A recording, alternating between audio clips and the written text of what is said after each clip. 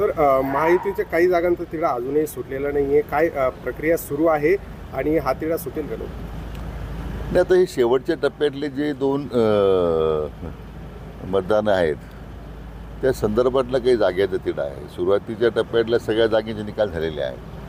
मला वाटतं तिन्ही पक्षाची नेते मंडळी या संदर्भात मला वाटतं एक दोन दिवसात निर्णय होईल. खास करून नाशिकच्या जागेची जबाबदारी नाशिकची जबाबदारी आपल्याला नाशिकच्या पण जागेचा अजून तेढा सुटलेला नाही. नाही असं की नाशिकच्या भारतीय जनता पक्षाच्या कार्यकर्त्यांना आग्रह आहे. की जागा ती आपल्याला मिळाली पाहिजे. कारण नाशिक मतदारसंघामध्ये नाशिक महापालिका आणि ज्या नगरपालिका त्या लोकसभा क्षेत्रात देतात साधारण शंभरच्या वर नगरसेवक भारतीय जनता पक्षाचे होते. पण अंतिमता निर्णय शेवटी पक्षश्रेष्ठी घेतात. जो काही निर्णय होईल त्याप्रमाणे काम करायचं असं आपलं ठरलेलं आहे. रामदास आठवलेंना अ, एकही जागा दिली नाही. त्यामुळे कुठेतरी पदाधिकारी नाराज आहेत.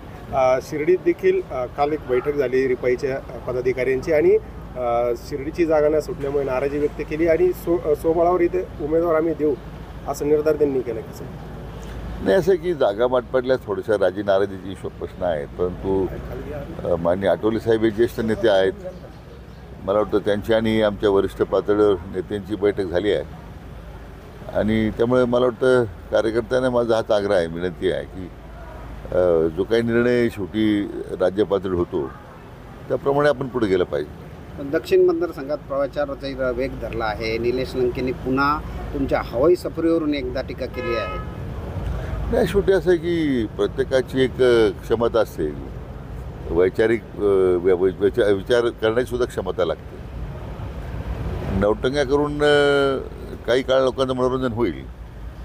पण ते असं आहे की जनतेला माहिती आहे कोण काम करतं काय करतं. त्यामुळे मला वाटतं कोणावर टीका टिप्पणी करण्यापेक्षा जनतेच्या न्यायालयात जाऊन आपण मतं मागतो. आणि जनता निश्चितपणे त्यामध्ये डॉक्टर सुजयला निवडून देतील याच्याबद्दल काही संधी नाही आहे निलेश लंकेंनी असं देखील म्हटले की तुम्ही खासदार दक्षिणेचे आहात. मात्र ज्यावेळेस नरेंद्र मोदी येतात त्यावेळेस त्यांना उत्तरेत घेऊन झालं जा- नेलं जातं. अमित शहाना उत्तरेत नेलं जातं. राजनाथ सिंगांना उत्तरेत नेलं जातं. मला वाटतं ते आता पहिल्या पहिल्यांदा ते मित्र पक्षाचे सहकारी होते. तोपर्यंत त्यांना आक्षेप नव्हता काही. आता ती मला वाटतं विरोधी पक्षाची भूमिका काही लोकांनी केली पाहिजे. हे काही नगर उत्तर आणि दक्षिणेचा प्रश्नच नाही आहे प्रधानमंत्री आदरणीय प्रधानमंत्री आपल्या जिल्ह्यात येतात. त्यात सगळ्यांना अभिमान आहे. आज किंवा सहकार परिषद जो सह सहकारी कारखानदारी उगम प्रवाह नगरला झाला. देशातली सहकार चळवळ ती जिथं सुरू झाली ती जर अमित शहा येतात. त्यात काय म्हणजे वेगळापणा काय? जिल्ह्याचं भूषणच आहे ते. आणि त्यामुळे राजनाथ सिंगांना आपण विनंती केली डॉक्टर सुजयने पुढाकार घेतला म्हणून तर के के रंजेचा प्रश्न आता निकाल निघेल ना. शेवटी ते प्रवाळनगरला आले पद्मश्रींच्या जयंतीच्या निमित्तानं. आणि त्यामुळे निदान आता त्यांच्या पुढाकारानं के के रंजेशच्या प्रश्नाला चालना मिळेल. मला वाटतं की ही संकुचित संकुचित वृत्तीनं काम करणारी जी लोकं आहेत काळाच्या ओघात त्या संदर्भात मी विस्तारण बोलेल. परंतु मला वाटतं देशाचे नेते ज्यावेळी येतात त्यावेळी तो त्यावेळी तो संकुचित दृष्टिकोन ठेवणं उचित नाही. आज बैठक होते आज राम राम शिंदे देखील. सक्रिय होत आहेत.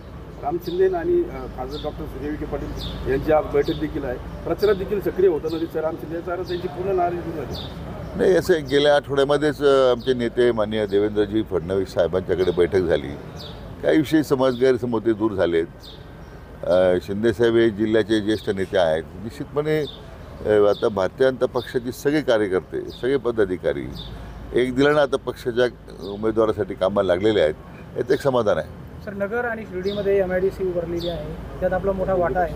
मात्र निलेश लंकेंनी काल म्हटले की तालुका तालुक्यात मी एम आय डी सी उभारेल हे शक्य आहे सर किंवा इतके दिवस त्यांना कोणी थांबवलं? मला खरं कधी कधी ते ते विनोद करू शकतात त्याचं मला आश्चर्य वाटतं. त्यामुळे असं आहे की सुप्याच्या एम आय डी सीमध्ये सगळे खंडणी बाजार गोळा झालेले आहेत. त्याचा किंवा तरी वेगळा विचार करावा लागेल. त्या सगळ्या गुंडगिरीचा आणि खंडणी बाजारांचा परंतु जिल्ह्यामध्ये आज एक औद्योगिक वातावरण तयार उभं राहत आहे. शिर्डीमध्ये जे मागच्या महसूल मंत्र्यांचे आशीर्वाद ज्यांनी घेतलेत त्यांना सुचलं नाही की महामंडळाची जागा द्यावी पाचशे एकर बेलवंडीची सहाशे एकर द्यावी. आपण विनामूल्य दिली कारण जमिनीचे भाव कमी ठेवल्यामुळे उद्योजक अधिक आकर्षित होतील यायला. नगरच्या एम आय डी शेजारची जी सहाशे एकर जमीन होती महसूल विभागाची ती आपण दिली. त्यातून जिल्ह्याच्या औद्योगिकरणालाच वाढ येणार आहे. सुप्याच्या एम आय डी सीला सुद्धा उद्या विस्तारवाढीकरता मी आता मान्यता दिलेली आहे. मला वाटतं औद्योगिक विकासाला वेग येणं आणि जिल्ह्यातल्या तरुणांना रोजगार निर्माण होणं याला प्राधान्य देऊन आपण पुढं कामाला आपण आपण कामाला सुरुवात केलेली आहे. तर कोण आरोप करतं काय करतं याचं मी फार लक्ष देत नाही. अजून पुष्कळ वेळ निवडणुकीला आहे. अजून बऱ्याच भांगडी पुढे यायच्या आहेत. त्या पण काळात वगैरे सांगू आपण लोकांना. महायुतीमध्ये मनसेचं काय स्थान असेल सर? आता लोकसभा निवडणुकीमध्ये. अटीमुळे मनसेची युती नाही. असं काही कल्पना नाही मला त्याची. कारण मी त्या कोर कमिटीत नसल्यामुळे. तिथे आता नेमकी त्या स्तरावर काय निर्णय होतो किंवा मनसेच्या मनसेबरोबर काय चर्चा होते याची आता मला खरं कल्पना नाही आहे. पण अं, निश्चितपणे अं, महायुतीमध्ये मनसे राहतील. याच्याबद्दल मला वाटतं अं, आम्ही पू- पूर्णतः आशावादी आहोत.